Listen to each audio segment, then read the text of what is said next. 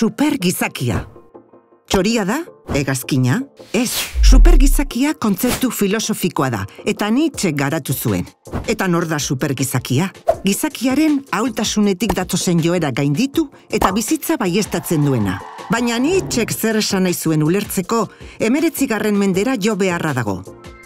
Friedrich Nietzsche, mila sortzireun taberrogeita lauean jaiozen orduko Prusian. Emeretzigarren mende amaiera, iraultzen garaia izan zen, iraultza liberalarena, iraultza industrialarena eta baita iraultza zientifikoarena ere.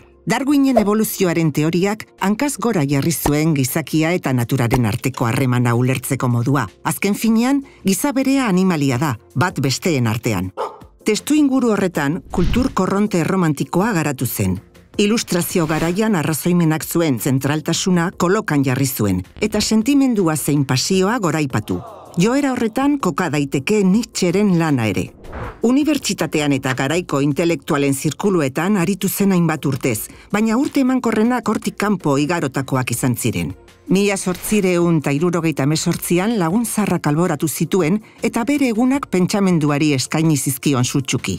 Mila sortzireun talarrogeita bederatzean, dementzia eragintzion kolapso mentala izan zuen, eta hortik aurrerako urteak arrebaren zaintzapean eman zituen hilarte. Nietzscheren pentsamendua bost ideia nagusitan labur daiteke. Bat, bizitzako indarrak, Apolo eta Dioniso. Nietzscheren arabera, bizitzan eta naturan bi indar mota daude.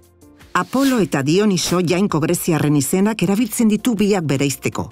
Apolo eguzkia ordezkatzen du, edertasuna, arrazoimena eta neurritasuna.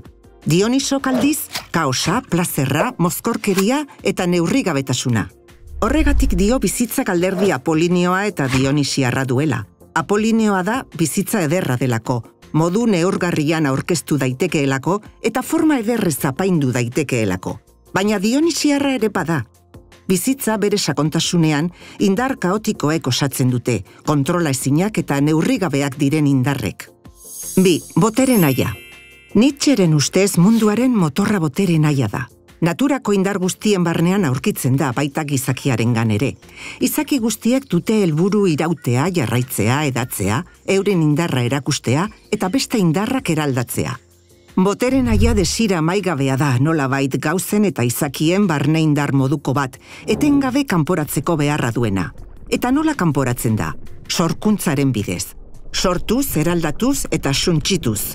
Sorkuntza ez da gizakiaren asoilik ordea, indar guztiek sortzen dute. Hiru, nihilismoa gainditu beharreko gaitza. Ziurrenik Nietzsche da kristau kultura eta balioak modu sakonenean kritikatu dituen filosofoa. Hilda jainkoa iragarri zuen. Jainkorik gabe gure balio sistema osoa irean zintzilik dagoela erakutsita. Balioak izakiak ematen die gauzei, eta horregatik guk geuk berrezarri beharko genituzke balioak bizitzan esklabo egoeratik irtetzeko. Artaldetik ateratzeko gonbita da Nietzscheren filosofia. Nihilismoa definizioz, bizitzaren zentzua edo balioa ukatzen duen korrontea da. Haren arabera, bizitzak ez dauka zentzurik eta ezin du eduki. Nietzscheren arabera ordea, bizitza bera da jarraitu beharreko balio bakarra, bere alderdi kaotiko eta dionisiarra barne. Nihilistatzat du Platon eta Sokratesek hasitako tradizio filosofiko osoa. Bizitzari zentzua emateko balio faltsuak hartzen dituztelako oinarri, ongia edo egia adibidez. Nietzscheren arabera, erligio judeo-kristauek esklaboaren morala gaiendu arazi dute. Gizartean moralki gutxiesten da indartsua dena eta boterea duena, eta gerra deklaratzen zaie sexuari, senari edo sentimenduei. Horrek gizakia apal, obediente eta zintzo bilakatzen du. Esklabo azken finean. Biak kritikatzen ditu. Razionalismoa, bizitzari zentzua razionalki emana izatea, eta kontrakoa, nihilismoa, non baliorik ez dagoen, ezerk ez daukan baliorik. Lau, vitalismoa. Nihilismoaren aurrean, bestelako ikuspegi bat proposatzen du nihitzek. Vitalismoa. Mundua ez dago ordenatua, mundua mugimendua da, mugarik gabeko indar kaotikoen multzoa. Zientziaren bidez, indarroiek modu harmoniko batean irudikatzen ditugu, baina hori ilusioa besterik ez da. Vitalismoaren arabera, bizitza bera da helburua eta balio nagusia. Nietzschek arrazoiaz gain, gorputza, sena, irrazionaltasuna, natura, indarra eta biziraupena balio esten ditu. Edo beste modu batera esan da. bizitza den bezalakoa onartzen du, kaotikoa eta kontrola ezina. Bost, supergizakia. Nitxeren ustez, nihilismoak gizakiaren ahultasun posiziotik sortzen dira. Esklaboari supergizakia kontra jartzen dio. Bizitza baiestatzen duen gizaki indartsua da, bere botere nahiari jarraitzen diona, eta autosuperazioa duen alege. Ez dago erlijioaren menpe, baina ez da arrazoimenaren edo balio moralen menpe ere. Bizi nahi du, aske izan, norbera izatera iritsi. Supergizakiaren ikuspegitik askatasuna borondate propio eta indartsu baten jarduna da. Moralaren edo ara unibertsalen menpe dagoen edo zein, aula izango da eta aultzen joango da. Ideia hauek guztiek nitxeren eriotzaren ostean izandako garapena ezin da ipatu gabe utzi.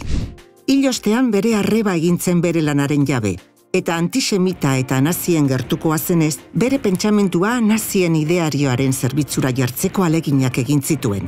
Hortaz, Nietzscheren pentsamenduak nazismoaren eta antisemitismoaren garapenean eragina izan zuen. Horrek ez du esan nahi ordea Nietzsche bera nazia zenik. Are gehiago, badakigu bere helduaroan Alemaniaren bilakaera nazionalista eta antisemita gaitzetsi zuela. Hortik ere atera daiteke irakaspena. Filosoforik argiena ere, ez da bere ideiek etorkizunean egingo duten bidea kontrolatzeko gai.